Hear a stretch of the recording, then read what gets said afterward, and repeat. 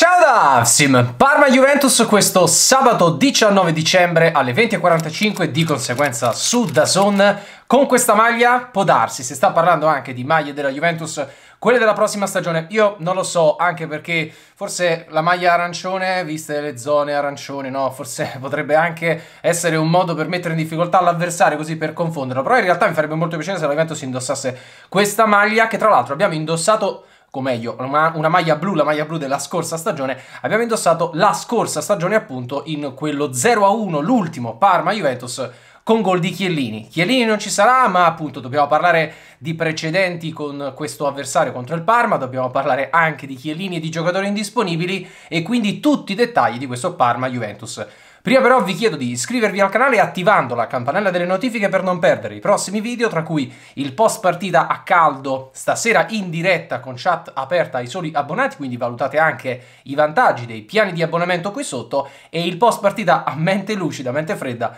domattina, oltre live reaction, analisi tattica e quant'altro. Entriamo nel dettaglio di questa partita, la Juventus molto semplicemente, seccamente e in maniera essenziale deve vincere, punto e basta. Non è assolutamente possibile fare altro risultato contro questo Parma. Con tutto il rispetto dovuto ad un avversario che comunque sta facendo il suo percorso e comunque può rappresentare degli aspetti uh, ostili e ostici alla Juventus, per la Juventus, con tutto il rispetto che bisogna dare a qualunque avversario, ma io direi anche con il rispetto di se stessi e del percorso che la Juve sta facendo con Pirlo. In generale questa squadra, cioè il Parma, non, non, può, non dovrebbe creare dei grossi pericoli alla Juventus, dovrebbe semplicemente eh, rappresentare la difficoltà standard di qualunque trasferta contro una squadra che teoricamente lotta per non retrocedere. E il fatto che abbiano conquistato 6 punti con anche una vittoria nelle ultime 5 partite non dovrebbe cambiare questo dato di fatto. Vedremo dopo come gioca il Parma Prima però dobbiamo parlare dei convocati di Pirlo e dell'assenza di Paolo Di Bala.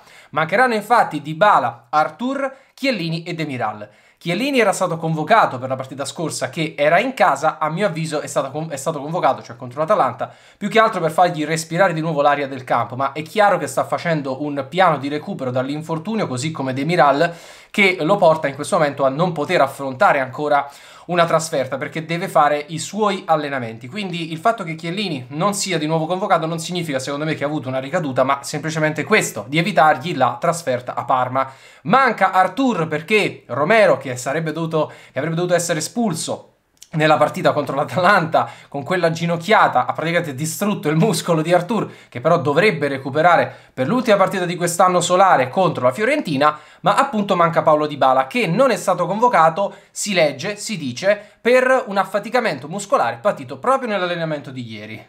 che cosa può, può, può voler dire? Cosa può significare questo affaticamento muscolare? Non voglio vederci cose negative, anzi è un affaticamento muscolare, quindi prendiamolo come tale, non ci sono questioni legate al contratto, quindi non voglio pensare male, ecco, non voglio pensare male, non c'entra nulla il rinnovo, non è un fuori rosa, non è come Eriksen o situazioni simili, anzi dovrebbe giocare poi contro la Fiorentina, speriamo che ci sarà, e sarebbe anche, dice qualcuno, partito titolare se fosse stato disponibile per questa partita. Intanto però non c'è, e allora è una situazione meravigliosa, sapete perché? Perché se la Juventus dovesse stravincere, allora avranno ragione magari quelli che dicono che senza Dybala si gioca bene lo stesso e anche senza Dybala non abbiamo problemi, possiamo tranquillamente vincere senza Dybala. Però intanto è bello vedere, tra virgolette bello, che nella casella degli attaccanti della lista dei convocati da Pirlo ci siano soltanto Morata, Ronaldo e Da Graca, senza, senza Dybala. E quindi evidentemente siamo una rosa incompleta. Non solo, ma a questo punto io andrei a chiedere anche a Pirlo cosa pensa a,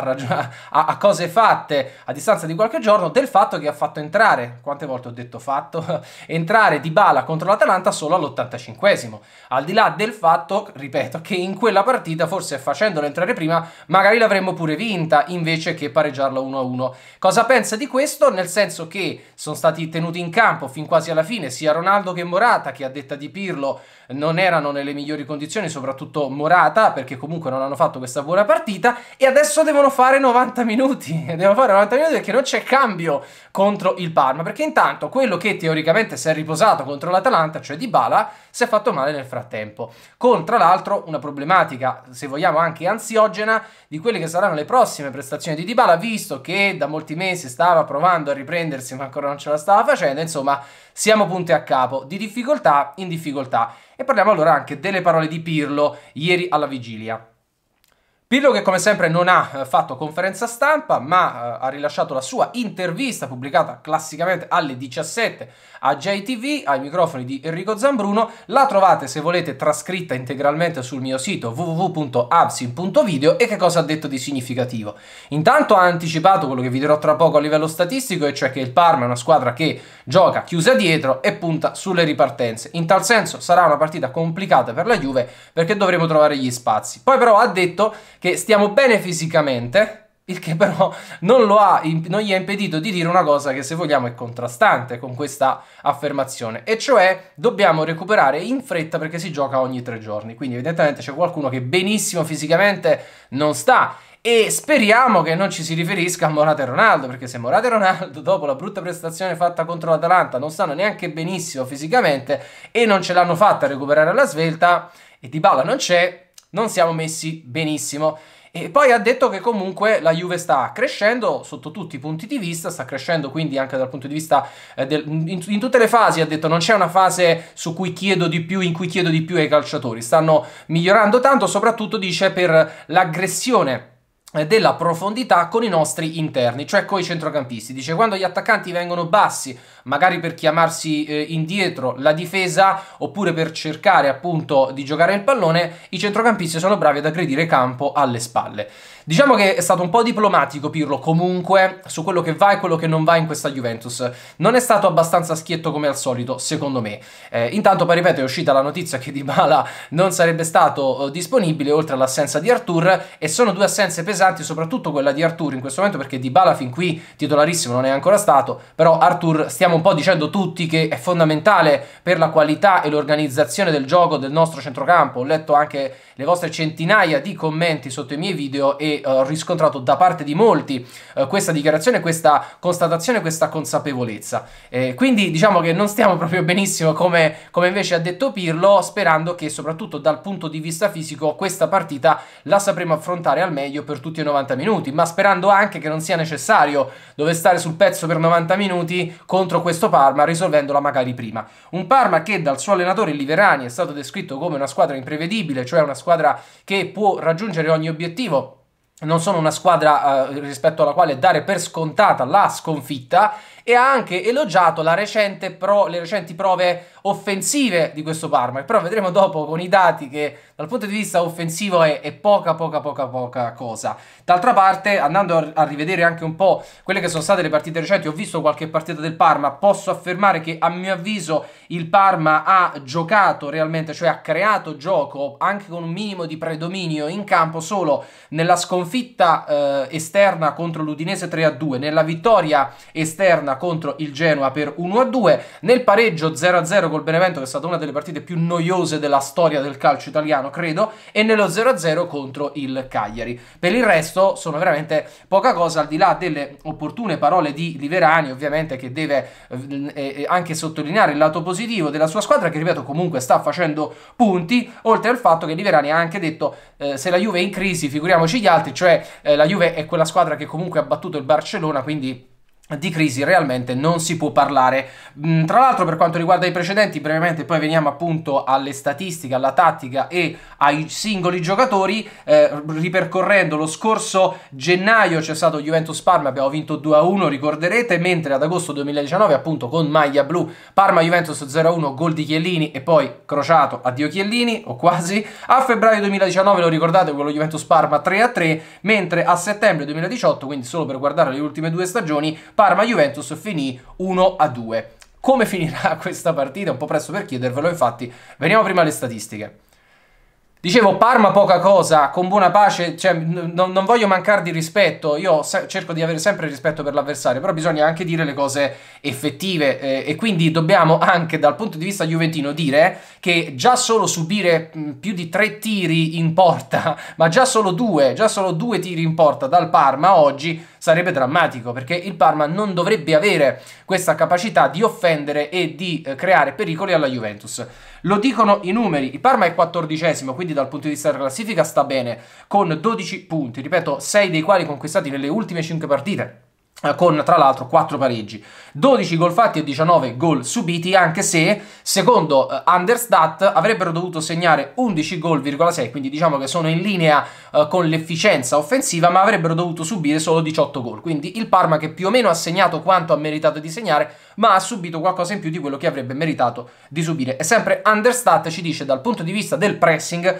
come si muove il Parma, cioè l'indice PPDA. Il Parma sostanzialmente permette all'avversario fino a 14 passaggi e mezzo consecutivi prima di riuscire ad intervenire per, inter per andare a riconquistare il pallone, mentre riesce a sua volta a fare circa 10, 9,7 passaggi consecutivi prima di subire la riaggressione. Quindi ovviamente la tenuta del pallone e del campo da parte, da parte del Parma non è nulla di eccelso. Poi per quanto riguarda invece eh, i dati di Who Scored, quindi diciamo quelli eh, più concreti come il possesso palla, passaggi, tiri, eccetera. Sul possesso palla il Parma è diciassettesimo col 46%, la Juve è sempre prima con il Sassuolo che si fa sotto al 58%. Per i passaggi il Parma è quindicesimo, 420 in media partita, la Juve è sempre prima con 602, unica squadra sopra quota 600. Parma tredicesimo per precisione dei passaggi, 82. Vedete, è un dato incoraggiante perché è una squadra che fa poco gioco, però lo fa in maniera abbastanza precisa, quindi dal punto di vista tecnico non sono da sottovalutare. Juve sempre prima con 88% di precisione.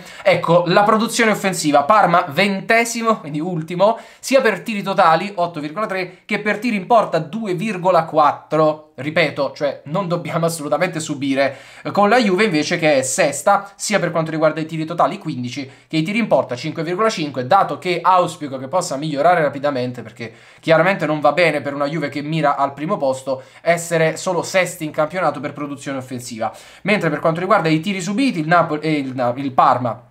è diciassettesimo con 14,6, quindi subisce quasi più tiri di tutti. La Juve è sesta anche in questo con 10 tiri subiti che anche su questo dobbiamo sicuramente migliorare. Eh, per l'aggressività è un Parma che è al pari della Juve, 17 contrasti a partita, siamo infatti quinti e quarti, sostanzialmente al stesso posto, mentre per gli intercetti il Parma è dodicesimo con solo 12 intercetti a partita, la Juve è terza con 15. Per quanto riguarda altri dati possiamo sottolineare come il Parma sostanzialmente segna prevalentemente su azione manovrata, ma subisce su calcio calcio piazzato su cui la Juve dovrebbe avere qualche arma un po' più affilata, quindi potremmo tenere in considerazione di sfruttare questa cosa. Oltre al fatto che il Parma prevalentemente produce gioco sulle fasce, tirando però più dalla zona de di destra che dal centro e dalla sinistra, prevalentemente dentro l'area, ma non specificamente in area piccola, mantenendo un baricentro tra i più bassi della Serie A. E veniamo a questo punto ai singoli giocatori con una menzione particolare per Hans Nicolussi Caviglia. Tutti voi conoscete il nostro giovane Hans che ha esordito con Allegri e che poi è stato mandato in prestito al Perugia l'anno scorso facendo un ottimo campionato di Serie B. Rientrato alla base quest'anno si parlava di un Nicolussi Caviglia a disposizione di Pirlo come valore aggiunto, come giocatore eh, per il centrocampo, eh, tra l'altro CTP, invece si è deciso in maniera secondo me totalmente sbagliata di mandarlo in prestito al Parma. Hans Nicolussi Caviglia è un calciatore di grande qualità e eh, soprattutto nella zona calda, nella zona offensiva per quanto riguarda la rifinitura. E quindi in un Parma che sta così basso, così schiacciato, che sfrutta più che altro l'ampiezza e le ripartenze, ma che tira pochissimo, era veramente sprecato. È stata un'operazione sbagliata, possiamo dirlo senza timore di smentita, a prescindere dal fatto che, e auguriamo con tutto il cuore a Hans di riprendersi il prima e al meglio possibile, nell'allenamento del 15 dicembre ha subito una distorsione al ginocchio sinistro che gli ha provocato la totale rottura del legamento crociato anteriore. È stato sottoposto all'intervento chirurgico e starà fuori quei 4-5 mesi, anche 6 necessari. Quindi Hans Nicoluschi Aviglia stagione finita per lui proprio alla vigilia di Parma-Juventus dove però magari Liverani che finora l'aveva visto zero, facendolo giocare solo in Coppa Italia, neanche l'avrebbe convocato o forse l'avrebbe comunque tenuto in panchina, però sarebbe stata sicuramente una grande occasione per Hans, un grande momento e quindi ha dovuto rinunciarci, ci stringiamo noi tutti come hanno fatto anche i calciatori della Juventus e tutto il popolo bianconero sui social, a lui perché possa riprendersi al meglio. Tra l'altro ho grande stima personale di, di Hans da tempo, quindi lo, lo seguo da tempo, da quando era ancora nell'Under 19, poi è passato nell'Under 23, da anni veramente non vedo l'ora che possa approdare in prima squadra, purtroppo ha avuto questo intoppo e speriamo che lo possa superare veramente al meglio. Per il resto, come dicevo, non c'è Dybala per questo, per questo affaticamento, non c'è Artur per quella botta, Chiellini e Demiral stanno recuperando dai rispettivi infortuni, al Parma, oltre a Nicolussi Caviglia, mancano Grassi, Lorini, Pezzella e Scozzarella. E quindi quali saranno i giocatori a disposizione di Liverani e come scenderà in campo il Parma? Tra l'altro Parma che ha cambiato diversi assetti tattici in questa stagione, hanno, hanno utilizzato qualche volta una difesa a tre o meglio tre centrali difensivi, talvolta con una linea arretrata a 5, prevalentemente però una linea arretrata a 4, poi a centrocampo a volte si mettono a 3, a volte si mettono a 2, a volte c'è un trequartista, a volte ce ne sono due, quindi eh, sfrutta diciamo l'ampiezza se vogliamo della sua rosa, la duttilità della sua rosa Liverani, eh, però va anche detto che fino a questo momento non si capisce bene qual è il modo di giocare del Parma se non il fatto appunto di stare bassi, sfruttare l'ampiezza, sviluppare sulle fasce e puntare prevalentemente alle ripartenze come lo stesso Pirlo ha detto ieri a JTV. E quindi la formazione titolare dovrebbe vedere Sepe in porta, una linea retrata a 4 con Jacoponi, Bruno Alves, sempre grande amico di Cristiano Ronaldo, Osorio e Gaiolo. A centrocampo, non certo il miglior centrocampo qualitativamente parlando della Serie A, con Kuczka, Hernani e Kurtic e in attacco Gervigno, Inglese e Caramò. Ovviamente con Caramò che molto probabilmente si abbasserà sulla linea dei, del, dei centrocampisti eh, molto di frequente, Gervigno che si abbasserà pur rimanendo comunque in zona abbastanza centrale più che allargarsi e Inglese che punterà a far da boa per far salire la squadra. Dall'altra parte, che Juventus vedremo in campo? Dovremmo parlare anche di Buffon, che anche oggi ha deciso di giocare, nel senso che, eh, sì, diciamo che, che Pirlo ha deciso di dare la passerella Parma a Buffon va benissimo, eh, ripeto, l'avevo detto prima del Barcellona, poi tutti quanti, adesso chiedi scusa a Buffon, poi vorrei che qualcuno chiedesse anche scusa a Scesni che anche con l'Atalanta ci ha salvato letteralmente come aveva fatto nelle partite pre-Barcellona e adesso eh, torna in panchina, sempre per mantenere questa discontinuità, pur essendo comunque Scesni riconosciuto primo portiere. Per carità, se Buffon ha deciso di ritirarsi a fine anno, ci sta l'ultima passerella al Camp Nou, che tra l'altro è stata un'ottima prestazione sua, ci sta l'ultima partita a Parma, che diciamo, diciamo, è simbolica, tra l'altro lui col 77 a Parma è, è storia se vogliamo, eh, però comunque resta il fatto che sulla scelta di come impiegare i giocatori ci sono secondo me troppe componenti che vanno a interferire con le scelte tecniche di Pirlo. Difesa arretrata, cioè zona linea arretrata con probabilmente turno di riposo per quadrato e meno male, anche perché con l'Atalanta ha giocato pure male ma non si può dire perché deve rinnovare il contratto, quindi dobbiamo solo, solo elogiare Quadrato, mi raccomando. E quindi Danilo, Bonucci, eh, Delict e Alexandro, anche perché continuiamo a non avere alternative in difesa se non Dragosin, che forse farà qualche minuto se va bene, però questa difesa diciamo che è, è scontata, ma mi va anche molto bene. A centrocampo si parla di Chiesa a destra, per grande gioia di molti di voi che dite che a sinistra non rende. Io però farei giocare Kuluseschi, perché ragazzi se Kuluseschi non gioca neanche a Parma contro il Parma, non so quando gioca, cioè onestamente onestamente è un giocatore totalmente da recuperare, sparito completamente dai radar. Comunque dovrebbe giocare Chiesa, non essendoci Artur, dovrebbero giocare Bentancur e McKenny, perché poi sono anche i, i migliori o i meno peggio, soprattutto Bentancur, mentre McKenny è proprio uno dei migliori. Eh, certamente Rabiot in campo in questo momento non lo vuole vedere nessuno, con Ramsey forse finalmente recuperato, anche perché senza Dybala e senza Artur vorrei sapere chi mette la qualità, se non Ramsey, in attacco appunto Morata Ronaldo senza alternative e probabilmente anche senza ricambi, eccettuato forse un Bernardeschi selvatico che capita così e soprattutto Kuluseschi che, diciamo, speriamo che veda il campo perché altrimenti, ripeto, non si capisce che fine abbia fatto. Cosa pensate di queste ipotesi di formazione? Che tipo di partita sarà? Qual è il vostro pronostico? Forse ne ho dette troppe, quindi mi fermo. Grazie per la vostra attenzione, video prepartita lunghissimo ma serve anche per riempire lo spazio orario che ci porta alla partita di stasera e per mettere insieme una serie di cose molto dettagliate e complicate come per esempio la questione di Bala. E allora aspetto i vostri commenti nel rispetto delle opinioni di tutti e mettete like al video se vi è piaciuto. Iscrivetevi al canale attivando la campanella delle notifiche per tutti i prossimi video. Ci vediamo molto presto e sempre forza Juve!